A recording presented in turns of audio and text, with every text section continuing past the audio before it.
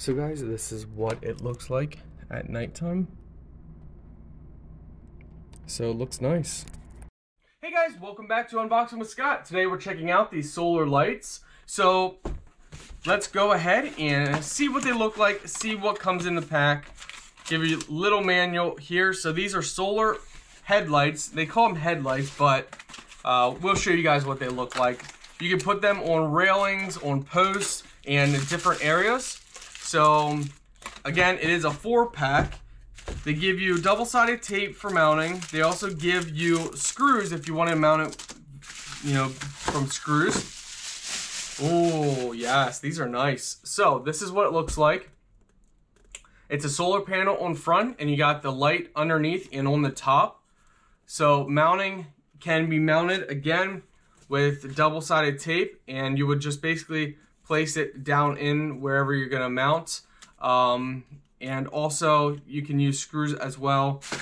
So let's see here. Uh, looks like for the bracket, it just pops right out.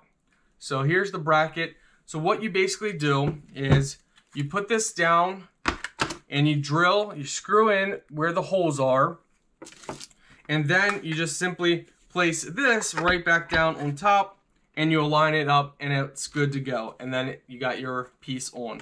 So you have your on and off button underneath here. So as you guys can see now, well, it's actually pretty dark, so you won't be able to see, but we can change the color modes.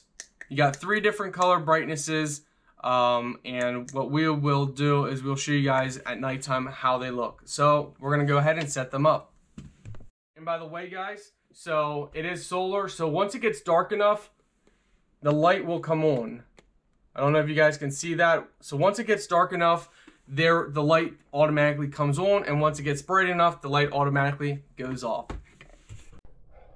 All right guys, so we got it installed. So it's gonna look nice right on our post. So we'll show you guys what it looks like at nighttime, but that's what it looks like now.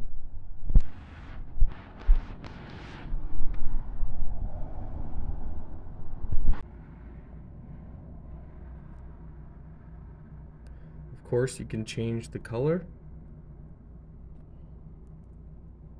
Gives a little light. Very nice.